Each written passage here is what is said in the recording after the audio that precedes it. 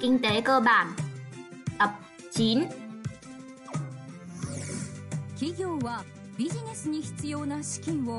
công ty sẽ cần phải có tiền vốn để có thể hoạt động kinh doanh.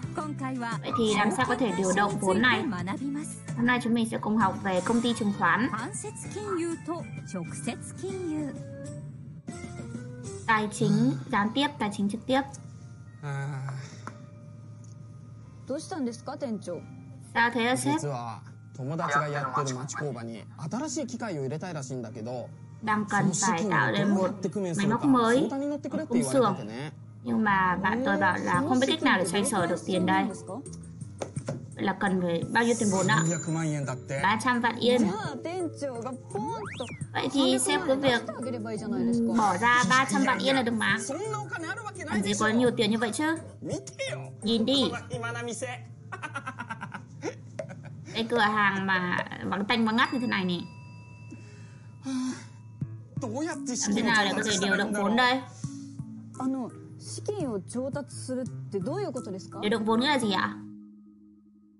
企業が資金を調達する仕組みには間接金融 sẽ có tiền vốn gián tiếp và tiền vốn trực tiếp. 間接金融とは cấp tiền gián tiếp có nghĩa là sẽ từ những người gửi tiền sau đó qua cơ quan tiền tệ như là ngân hàng và vay tiền. Còn ngược lại, số cấp vốn trực tiếp các công ty cần có tiền vốn sẽ tạo ra cổ phiếu và trái phiếu. Sau đó các nhà đầu tư sẽ mua lại.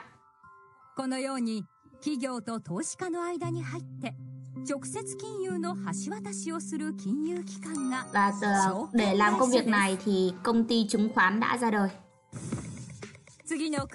Các bạn hãy thử điền vào dấu hỏi chấm nhé. 回答は番組ホームページの学習メモで確認しましょう証券会社の業務そっか công việc của công ty chứng khoán. Vậy để có thể điều động vốn thì sẽ có một công ty chứng khoán đứng ở giữa môi giới. Sếp ơi, vậy thì cổ phiếu sếp đã mua bao giờ chưa? Chưa. Bố em á ờ, đã mua cổ phiếu của công ty ờ, thực phẩm đó và trở thành cổ đông. Cái chữ cổ đông ấy nghe ngầu nhờ. Đúng rồi. Có khi tôi cũng trở thành cổ đông một công ty nào thì hay. Bố em hay đến công ty chứng khoán và uh, bàn luận đó.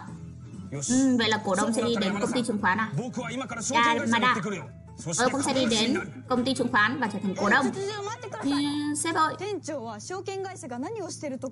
nhưng sếp đã biết là sẽ làm gì ở công ty chứng khoán chưa ạ?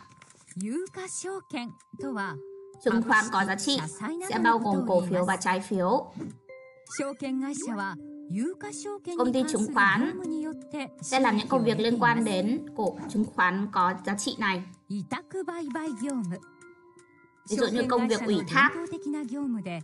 Đây chính là một nhiệm vụ khá là truyền thống. Khách hàng sẽ đặt mua cổ phiếu, trái phiếu. 顧客から受け取る委託手数料が収益となります。và sau đó thì công ty sẽ đưa đến sở uh, giao dịch chứng khoán tiếp theo là tự mua công ty chứng khoán sẽ dùng chính tự tiền vốn của mình và bán và bây giờ chính công ty chứng khoán sẽ trở thành nhà đầu tư và uh, phúc lợi bán được thì sẽ trở thành uh, tiền lãi cho công ty. Tiếp theo là nhận tiếp nhận uh, công ty chứng khoán sẽ tiếp nhận các cổ phiếu trái phiếu của các công ty khác sau đó bán lại cho bên nhà đầu tư và phí dịch vụ thì sẽ trở thành tiền lãi Tiếp theo là uh, tập trung và bán bán cổ bán chứng khoán uh, ủy thác sẽ được ủy thác và mua lại các um, cổ phiếu trái phiếu xong sau đó sẽ bán những cổ phiếu trái phiếu này cho người nhà đầu tư các bạn thử điểm vào dấu hỏi chấm nhé 回答は番組ホームページの学習メモで確認しましょう証券取引所証券 Sở giao dịch chứng khoán.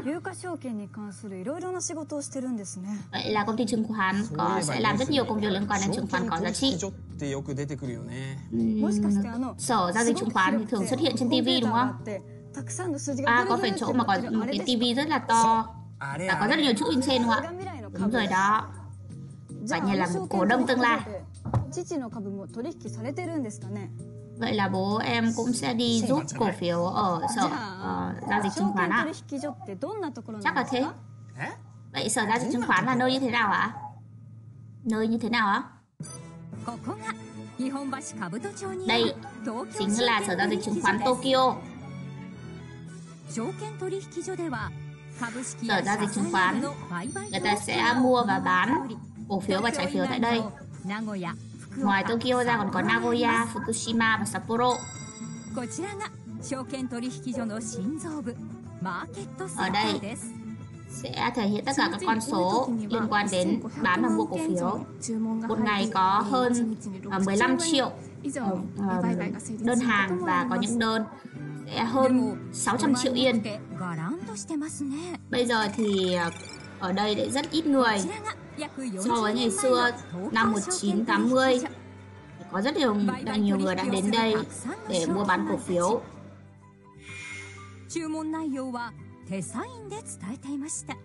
Và người ta uh, dùng uh, ký hiệu ký tay để mua bán cổ phiếu. Uh, ngày nay thì nhờ ra sự uh, phát triển của công nghệ nên là uh, uh, không cần phải đến tận sở giao dịch chứng khoán để mua chứng khoán nữa. Nhờ vào sự phát triển của IT công nghệ mà các đơn đặt hàng bây giờ đã trở nên dễ dàng thuận tiện hơn. Một ngày thì có lượng đặt đơn rất là nhiều.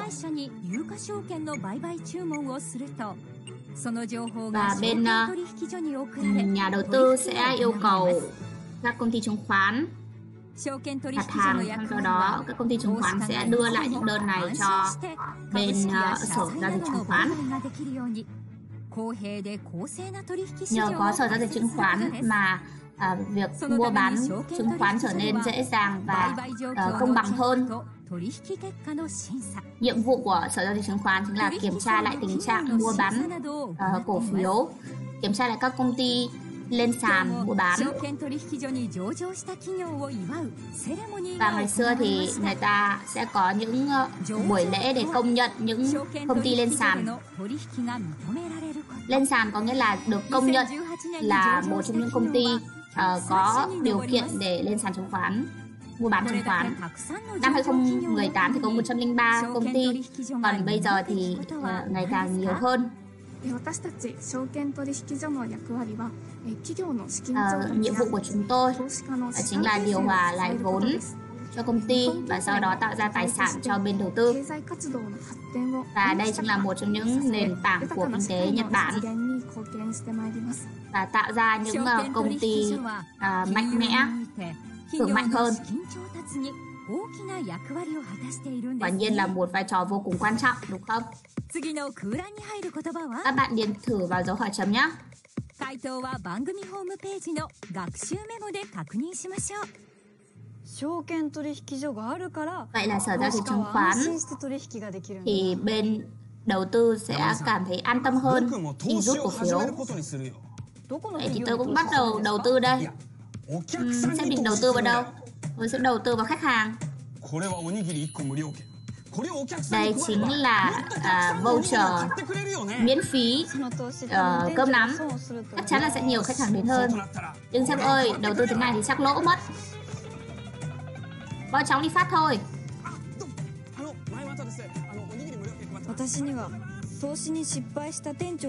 Tôi đã cảm giác có thể nhìn thấy hình dáng thất bại của sếp rồi. Hẹn gặp lại các bạn trong tập tiếp theo.